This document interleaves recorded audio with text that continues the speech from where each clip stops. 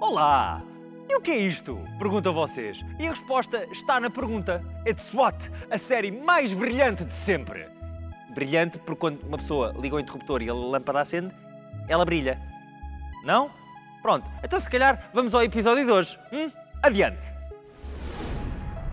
Hoje vamos falar em como a energia eólica e a energia hidroelétrica são como o Bucha e o Stika, o John Lennon e o Paul McCartney, o Yin e o Yang da produção energética. Por outras palavras, complementam-se como o leite e as bolachas. Eu juro que nunca percebi porque é que isto me emociona tanto. Nunca. Alguém tem bolachas?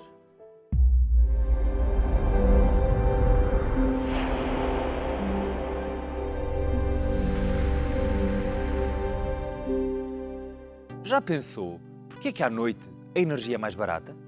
Grande parte tem que ver com aquelas ventoinhas gigantes que possuem a capacidade quase mágica de transformar a energia cinética do nosso conhecido amigo arranca-capachinhos chamado vento, belo nome código, já agora, em pura energia elétrica.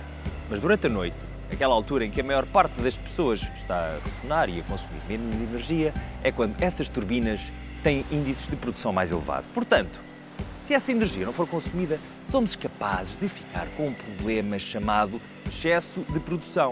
E para barrar esse problema, entram em ação as barragens.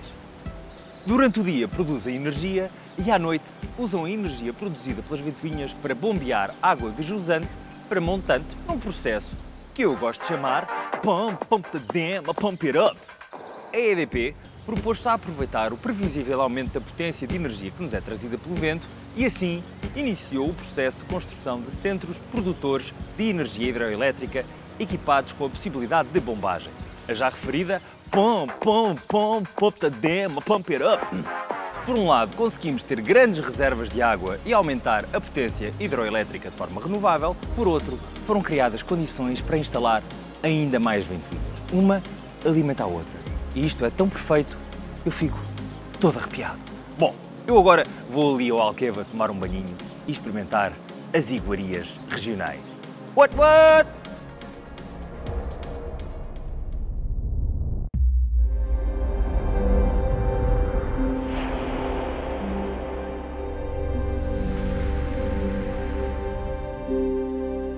Caro espectador, ou espectadora, espectador ou espectadora, depende se é o novo ou o antigo acordo ortográfico. Antes de desligar o laptop, carrega ali em baixo, subscrever.